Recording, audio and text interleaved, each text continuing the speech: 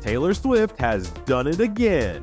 This time, she's taking us on a journey back to 1990, where baby Taylor donned the most adorable bunny outfit you've ever seen. Oh, my heart can barely handle the cuteness. Baby Taylor, nestled in her mama Andrea's arms, waving her tiny bunny ears. It's almost too much to handle. Can we get an awe in the comments? But hold on tight, Swifties, because there's more to this Easter tale than meets the eye. You see, Taylor Swift isn't just the master of melodies, she's also the queen of Easter eggs. What's an Easter egg, you ask? Well, it's not just those chocolate treats you hunt for on Easter morning. In Taylor's world, Easter eggs are hidden messages, sneaky hints, and secret clues sprinkled throughout her music and videos. From hidden messages in her album liner notes to cryptic clues in her music videos, Taylor Swift has been dropping Easter eggs since day one, and Swifties, we've been eating them up like candy. But wait, there's more. Swift's recent antics have got us all buzzing. Who could forget the clock in the Bejeweled music video, or the mysterious 11 fingers with Jack Antonoff. It's like a game of musical clue bingo, and we're here for it. And while we're unraveling Taylor's Easter surprises,